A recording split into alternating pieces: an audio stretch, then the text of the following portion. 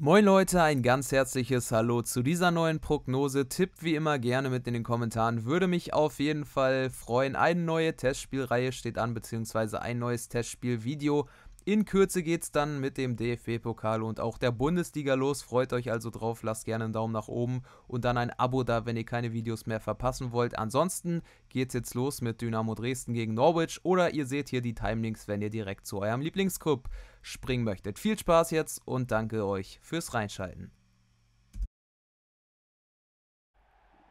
Dynamo Dresden hatte es als Absteiger aus der zweiten Bundesliga nicht leicht, hat sich auf unglaublich vielen Positionen neu verstärkt, unter anderem Will oder Sohm hier im Zusammenspiel. Will kürzlich von Bayern 2 und Sohm vom Halleschen FC innerhalb der dritten Liga zu Dynamo gewechselt. Also es war durchaus experimentell, was Markus Kauczynski hier aufs Feld brachte. Jeder bekam seine Möglichkeit.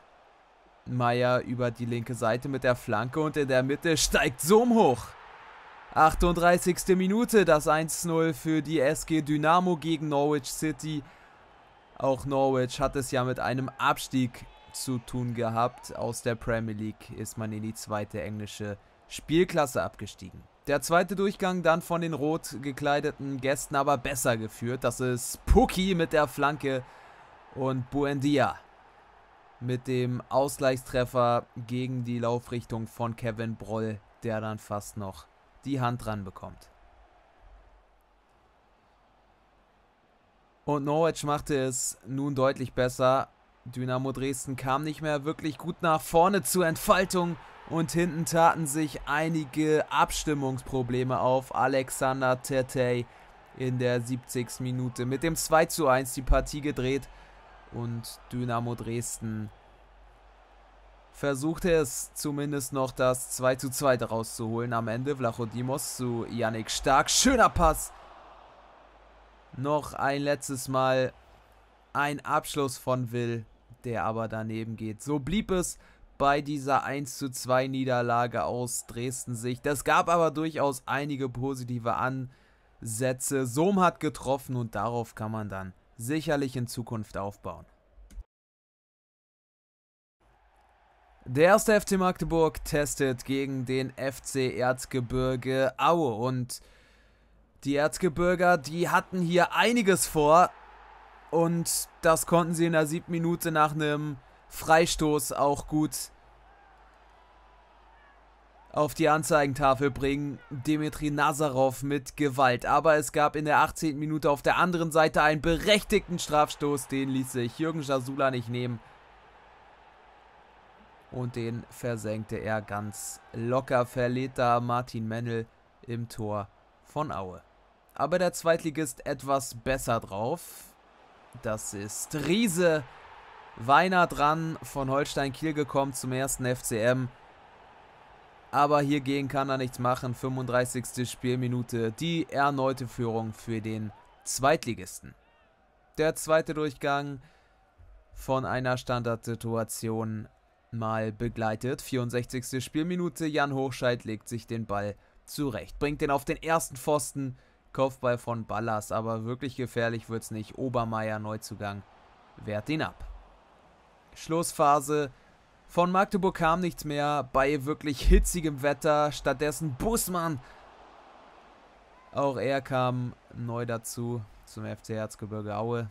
91. Minute nochmal eine Möglichkeit. Die führte aber nicht zum 3 zu 1 Führungstreffer. Es blieb aber trotzdem bei einem Erfolg für den FC Erzgebirge Aue. Das ist ein zufriedenstellendes Ergebnis. Aber auch Magdeburg muss sich hierfür nicht verstecken.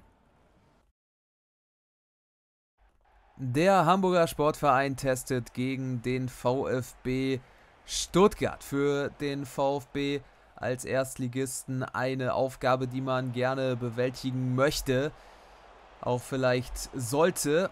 Aber der HSV trotz Schwierigkeiten hier auch gewillt nach vorne zu spielen. Aber der VfB Stuttgart machte es deutlich besser. 25. Minute Hammer, die Al mit dem Führungstreffer für die Schwaben das einzige Highlight im ersten Durchgang. Der HSV aber nach erfolglosen Testspielen jetzt vorne besser und zielstrebiger. Sonny Kittel in der 60. Minute mit dem Ausgleich der VfB Stuttgart lässt Aaron Hunter viel zu viel Platz. Der Pass ist dann auch gut gespielt. Sonny Kittel bleibt vor Kobel eiskalt. Noch 20 Minuten zu spielen. Everton mal vorne mit dabei, liegt zurück und da ist Jatta. Spiel gedreht, 71. Minute, das 2 zu 1 für den Hamburger Sportverein. Und der VfB Stuttgart, der konnte da mittlerweile überhaupt nicht mehr mit zufrieden sein. So drückten die Roten noch einmal nach vorne. Kalajdzic schlägt den Ball raus zu Wamangitukia. Schöner Ball. Aber die Davi misslingt der Abschluss. So bleibt es beim 2 zu 1. Das hier die letzte gefährliche Szene. Der HSV siegt also mal in einem Freundschaftsspiel, kann sich darüber freuen, sah heute deutlich besser aus und der VfB Stuttgart, ja, der hat noch Luft nach oben. Hertha BSC hat in näherer Zukunft einiges vor im internationalen Bereich und so ist es dann auch durchaus sinnvoll, gegen PSW Eindhoven zu testen. Die niederländische Mannschaft durchaus in den letzten Jahren europäisch immer mal wieder auffällig gewesen, aber auffällig hier war zunächst nur die Hertha 28. Minute Maximilian Mittelstädt wieder im linken Mittelfeld aufgeboten. Mittlerweile starker Offensivdrang beim ursprünglich linken Verteidiger der Hertha. Hier läuft er schon wieder an. 35. Viel zu viel Platz. Eindhoven macht es nicht gut. Schwach von Unnerstall. Den kennen wir doch noch. Legt auf für Dodi Luke Bacchio. Der steht am zweiten Pfosten dann zu frei. Und bringt den Ball per Kopf über die Linie. Die Hertha machte es richtig gut, führte vollkommen verdient, setzte Eindhoven weiter unter Druck. Timo Baumgartel, auch er dürfte dem einen oder anderen deutschen Fußballfan noch bekannt sein. Matthäus Kunja mit der Hacke zu Luke Bacchio stark weitergeleitet zu Christoph Piontek. 59. Minute. Das war ein äußerst überzeugender Auftritt der Elf von Bruno Labbadia und PSW Eindhoven konnte einem hier überhaupt nicht gefallen. 20 Minuten vor dem Ende vielleicht dann mal zumindest der Ehrentreffer. Härte bekommt es diesmal nicht gut geklärt. Szene noch heiß und Schwolo, der sich da reinschmeißt. Blieb aber heute ohne Gegentor. Damit gewinnt die Hertha das Spiel. Gewinnt mit 3 zu 0 und damit auch in der Höhe vollkommen verdient.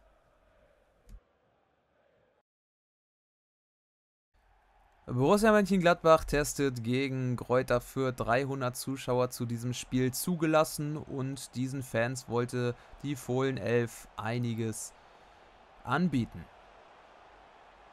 Und sie konnten es tun. Neuhaus, schönes Kurzballspiel, Wolf mit der Hacke zu Stindl, sehenswert gespielt. 1 zu 0 in der 8 Minute für Borussia Mönchengladbach. Kräuter Fürth war etwas überfordert in dieser Szene. Allgemein die erste Hälfte von den Franken nicht so überzeugend. Lazaro, Neuzugang auch über die rechte Seite. Die Flanke etwas zu weit, aber Wolf rettet es. Florian Neuhaus kommt aus dem Hintergrund. 15. Minute 2 zu 0 für Gladbach. Damit konnte Marco Rose richtig zufrieden sein. Das war ein toller Auftritt seiner Mannschaft, die nicht so wirkte, als wäre das hier ein einfaches Testspiel. Geht ja bald auch mit dem DFB-Pokal dann los. Es wurde noch bitterer für Kräuter Fürth. 29. Minute Lars Stindl am zweiten Pfosten mit dem Doppelpack. Am besten sollte man den eigentlich nicht so frei stehen lassen. Das Spiel war entschieden. Kräuter Fürth konnte sich nicht mehr groß aufbäumen. Sie fokussierten sich darauf, die Defensive zu stabilisieren. Das klappte trotzdem. Gladbach dann noch mit der einen oder anderen Möglichkeit. 74. Minute hier Burchardt, aber mit der Parade kann sich dann immerhin einmal auszeichnen. Doch auch die letzte Chance sollte Gladbach gehören. Stindl wird hier aber der Dreierpack verwehrt von Sascha Burchardt in der 81. Spielminute. Somit blieb es beim hochverdienten 3 zu 0 Kräuter Fürth, insbesondere im ersten Durchgang defensiv teilweise fragwürdig was sie ablieferten. Gladbach machte es nach vorn richtig gut. Im zweiten Durchgang nahmen sie dann einige Gänge zurück.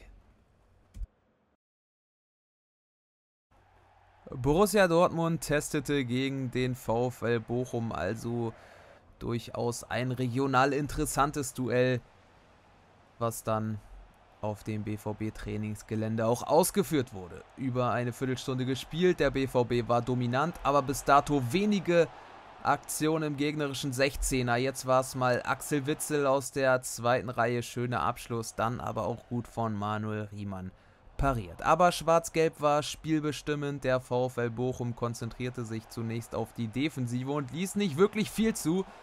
Und wenn, dann war es beim BVB Axel Witzel, der an Manuel Riemann scheiterte und fast ein wenig verzweifelte. Das war eine richtig starke Parade hier vom Bochumer Schlussmann. Und kurz vor dem Pausenpfiff kam der VfL Bochum dann nach vorne. Drei Minuten Nachspielzeit aufgrund einer Trinkpause bei wirklich heißen Temperaturen. Tarsis Bonga über die rechte Seite von Chemnitz gekommen. Flacher Pass und da herrscht Unstimmigkeit. Die führt zum 1 zu 0 für den VfL Bochum. Robert Tesche lässt sich feiern. Nicht zu Unrecht. Schöne Brustannahme und dann Attacke. Der zweite Durchgang aber vom BVB wieder dominant geführt. Man ließ sich von diesem Rückstand nicht aus der Ruhe bringen. Torgan Hazard, eine einfache Körperdrehung, verschafft ihm so viel Platz, dass er zum Ausgleich einschießen kann. Da sieht Maxim Leitsch nicht gut aus, grätscht dann rein, kommt aber zu spät. Nächster Fehler von Leitsch. Julian Brandt mit der Hacke elegant zu Rafael Guerrero. Spiel gedreht, 2 zu 1 für Borussia Dortmund. Der VfL Bochum konnte im zweiten Durchgang dann lange nicht mehr so gut mithalten wie noch im ersten, wenngleich auch dort Dortmund schon besser war. Dort verpassten sie es aber eben ihre Möglichkeiten zu verwandeln.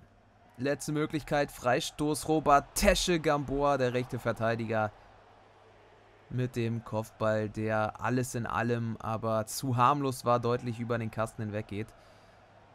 Somit blieb es beim 2 zu 1. Bäume hat der BVB damit nicht ausgerissen, aber sie haben gewonnen. Das ist erstmal das grundlegende Ziel gewesen und der VfL Bochum kann auf dieser Leistung sicherlich auch aufbauen.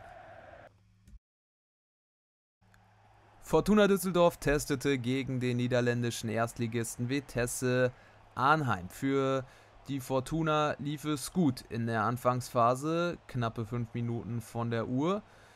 Marcel Sobotka leitet das Ganze an. Ioazu Gül, der erste Abschluss gehörte dann der Fortuna, landet allerdings im Nirgendwo. 20. Minute, dann gab es einen Strafstoß, die Möglichkeit für Kenan Karaman hier auf Führung zu stellen und er ließ sich diese Möglichkeit nicht nehmen. 20. Minute 1 zu 0 für Fortuna Düsseldorf. Der verdiente Führungstreffer zu diesem Zeitpunkt.